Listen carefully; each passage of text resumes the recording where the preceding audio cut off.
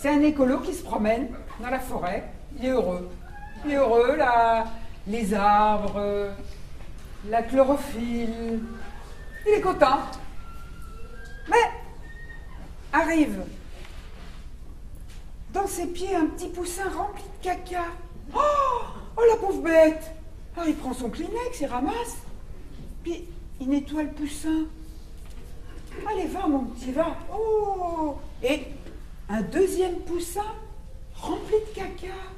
Oh, oh là là là là, mais hop, il nettoie le poussin. Va mon petit. Troisième poussin.